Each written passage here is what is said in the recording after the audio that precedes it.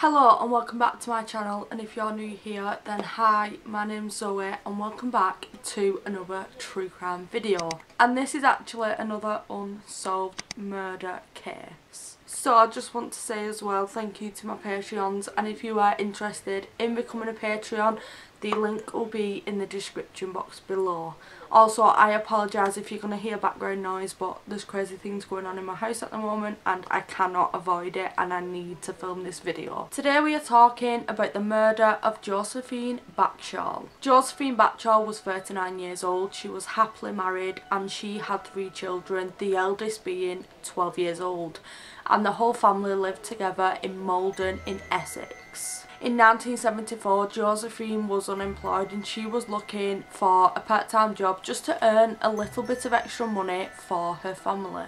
Because they didn't have internet, the main way that they would look for work and show their willingness to work was through the local newspapers. And this is what Josephine decided to do. Josephine had put an advertisement in the Situations Wanted column in the Maldon and Burnham newspaper. The advertisement read, Lady, late 30s, seeks part-time employment in or around Maldon, on transport, anything considered, previous experience banking, able to tap. Josephine did receive a response and it wasn't something that she was expecting. She was very shocked by the response that she got. A man called Peter contacted Josephine with a modelling offer. He was looking for a woman to model women's cosmetics and possibly a woman to model women's clothing for his own portfolio as he was a photographer. Josephine was excited. Like I said, she didn't expect anything like this.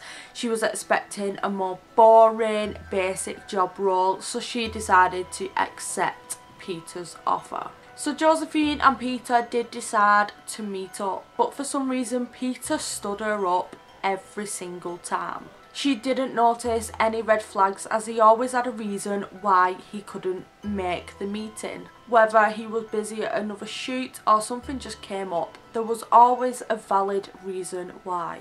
Despite them being unable to meet in the beginning, they did go on to have many successful meetings in public places. These meetings were set up so Josephine could get to know Peter. It was so she could find out more about him and grow more of a personal relationship with him. Once they had met up a couple of times and Josephine finally trusted Peter, it was her idea that he actually was to meet her in her own home. She decided that she finally trusted him enough and she also wanted Peter to take pictures of her in her back garden. On the 29th of October 1974, Josephine received a call from Peter. He was quite flustered, he had been let down by another employee of his and he needed Josephine's help. He asked Josephine if she'd be able to meet him in Cheltenham.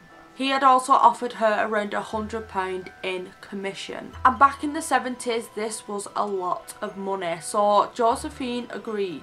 She left her home around 6pm and she left her three children at home. But for some reason, Josephine never returned home. She was reported missing very quickly. Like I said, she had three children, so they knew that if their mother said that she would be on that evening and she didn't turn home, they knew something was wrong. So they was very concerned when she didn't return. Also, she wasn't the type of person to just leave her children without them knowing where she was or what her plans were or what time she would arrive home. On the 1st of November 1974, just three days after being last seen, Josephine's body was discovered. It was discovered in a field off Berwick Green Lane and this was around 35 miles away from Josephine's home. She was fully clothed and face down in a shallow pond. Her hands were also tied in front of her. When an autopsy was conducted, it was said that Josephine wasn't sexually assaulted, but she had been strangled to death. And also an interesting fact, investigators actually said that Josephine died at 8.10pm. This is the time that her watch had stopped at and they assume if she was pushed or it had got damaged during her death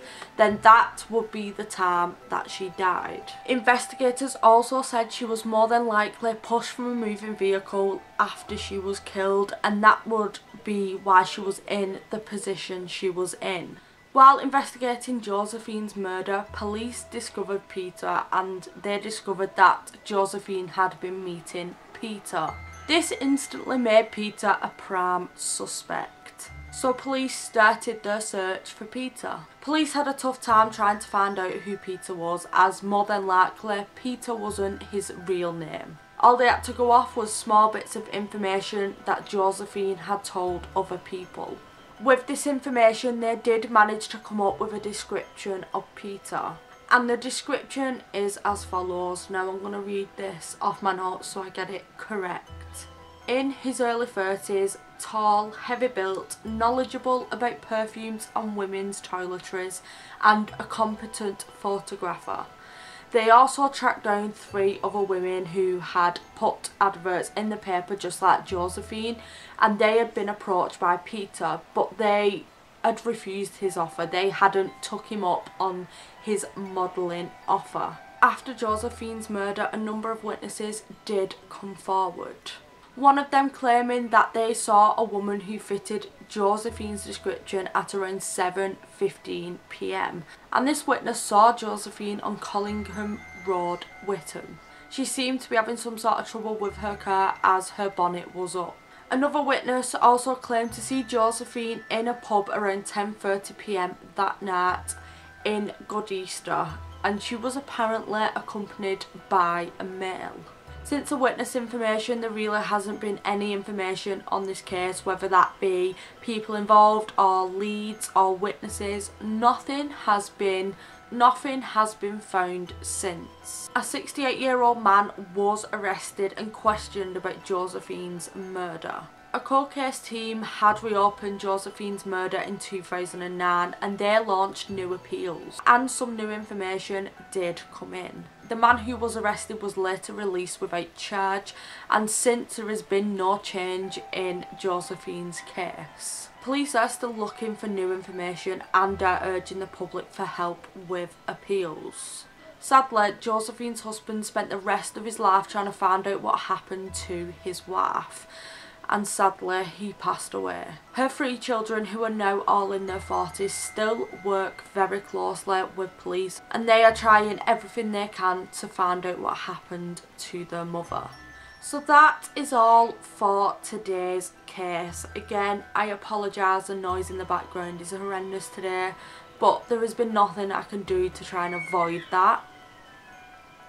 I have children, I can't help it. But I hope you still managed to enjoy this case. I just wanted to give a little announcement. If you've not had social media, you probably won't know, but my True Crime Week is going to start on the 22nd of July and I have some amazing creators jumping on with me. So if you want to get videos early or catch any more secret announcements before I actually announce them to the public, go and check out my Patreon because that's the place to be or if you can't afford that or can't physically support me I understand that's fine. Just give this video a big thumbs up because YouTube's algorithm just really doesn't like true crime videos and isn't suggesting the content that you like to see. So please give this video a big thumbs up. Don't forget to subscribe to my I don't even think I told you to subscribe. If you're new here subscribe to my channel and also turn on that bell notification so you're notified every single time that I post and I shall see you in my next video. Bye.